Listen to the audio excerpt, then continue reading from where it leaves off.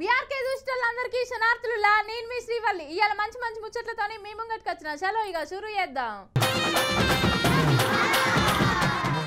ఒక సినిమాలో సార్ పాఠం చెప్తుంటే పోరగన్లు బయటికి పోవాలని ఉపాయం కడతారు. అయితే బయటికి పోనీకి సార్ నా బండి ఖరాబ్ అయింది సార్ అని బండి తెత్తా పిలుచుకొత్తా అని ఇంకొకడు పోతాడు. ఆ బండి నాదే సార్ అని అనుకుంటే ఇంకొకడు పోతాడు. ఇట్లా ముగ్గురు బండి వంక పెట్టుకొని పోయింది యాదే కదా? అయితే ఇప్పుడు గీళ్ళు సుత మంచి ఉపాయం కట్టి బయట పడ్డరులా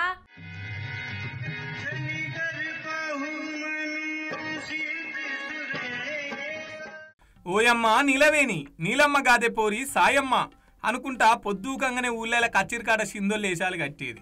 ఇప్పుడు కూడా ఆడాడ కడుతుర్రు అనుకోరి అయితే రాజు పాత్ర రాణి పాత్ర అన్ని మొగోళ్ళే కడతారు. గీడ కూడా చూడురి ఎంత ముద్దుగా రామ్ రామ్ సియా రామ్ అనుకుంటా పాటలు పాడుతున్నారు.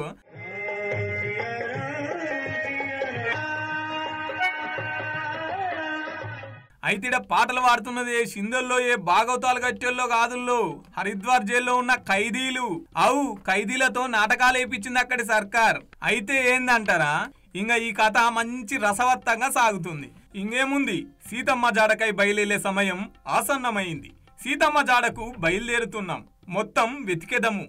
అనుకుంటా జైలుగూడ మీదకే ఎక్కిర్రు.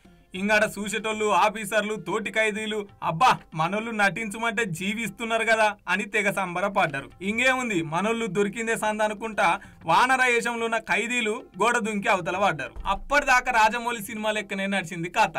ఒక్కసారి గోడ దుంకి అవతల పడంగానే రామ్ గోపాల్ వర్మ సినిమా లెక్క అయింది.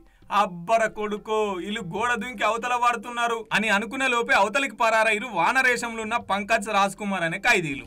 భలే ఉపాయం కట్టిరు ఖైదీలు అంటే ఖైదీలు అనిపించుకుర్రు. ఓడేమో మర్డర్ కేసు మీద జీవిత ఖైదీ శిక్ష పడ్డదట. ఇంకోడేమో కిడ్నాప్ కేసు మీద శిక్ష పడి వచ్చిందట ఇక మనోళ్ళు చేసిన ఉద్దారకానికి ఆరుగురిని పోలీసు కూడా సస్పెండ్ చేసిరట సీతమ్మని దేవులాడతామని వాళ్ళు పోతే వాళ్ళని దేవులాడటానికి ఇప్పుడు పోలీసు వాళ్ళు పోతున్నారు.